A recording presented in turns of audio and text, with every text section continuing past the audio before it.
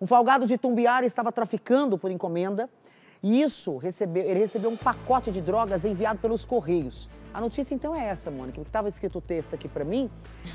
É... Olha, Silvia, eles tentam de tudo, né? Como Bom, tá deixa eu te perguntar aí... uma coisa, esse, né, porque é rastreado, né? Tem raio-x nos Correios ali, o povo não é trouxa, gente. Não é, e a droga tem um cheiro forte, exala um cheiro, por mais que se embale, né? Quando passa ali, como você falou, no raio-x, esse pessoal é experiente, sabe dessas várias tentativas, a gente noticia muito, mas ele achou que podia dar certo. É um homem de 23 anos ali na cidade de Tumbiara e foi agora pouquinho, viu, Silvia? Agora, um pouco antes de começar essa edição do Cidade Alerta Goiás, ele foi preso em flagrante depois de receber. De... Ele foi lá fazer a retirada do pacote, né, no correio.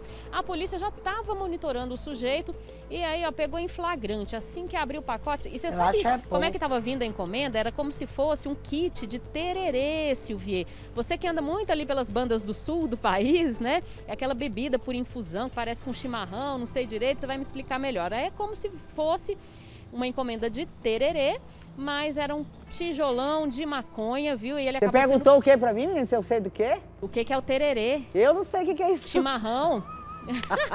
ah, você tá falando por causa do, do, boy magia que eu tenho? Exato, lá não, no sul. Ele, eles, é, ele é de Santa Catarina. Lá não, não tem isso, não? Ah, eu acho. Ah, mas no Mato Grosso sei, do Sul gente. tem. Lá é. deve ter também.